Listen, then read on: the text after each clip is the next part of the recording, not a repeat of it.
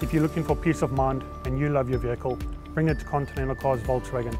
We love your vehicle as much as you do and we'll take care of it.